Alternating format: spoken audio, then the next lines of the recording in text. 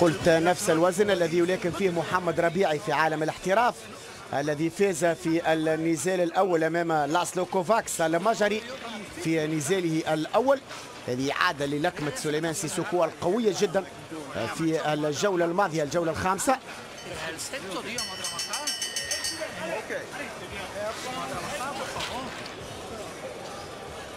ثم فاز في النزال الثاني على البلجيكي جون بيير أبيمانا.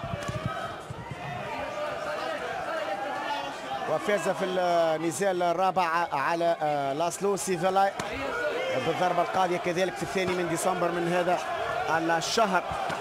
ممتاز اللكمة اليمينية من سليمان سيسوكو. هل ينهي النزال في هذه الجولة؟ يبدو أنه مصمم على ذلك. ممتاز اللكمة ينوع من الجسد إلى الوجه. في اللكمات.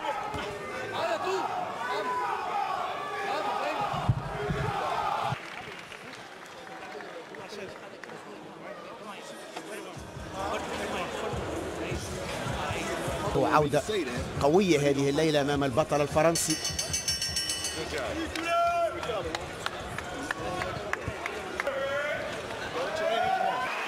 باستغراب من المنافس الإسباني.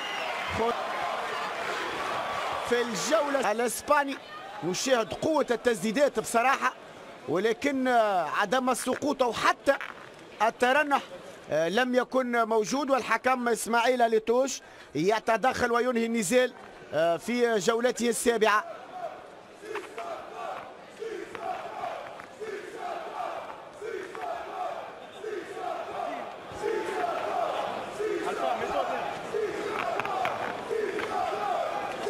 هو الحقيقة حسنا فعل الحكم لأنه بصراحة الإسباني تلقى العديد والعديد من اللكمات المؤثرة خاصة على مستوى الرأس ولكنه صمد ولم يسقط.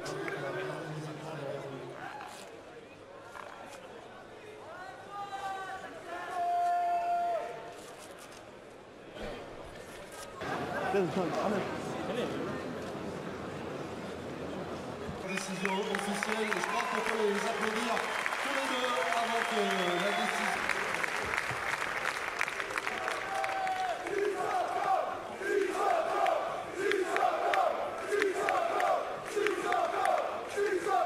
Et donc, déclaré vainqueur par arrêt de l'arbitre à la septième reprise et toujours إذا سليمان سيسوكو يفوز بالضربة الفنية القاضية في الجولة السابعة بعد أن أوقف الحكم إسماعيل في جولته السابعة على أثر لكمات قوية من الفرنسي سليمان سيسوكو.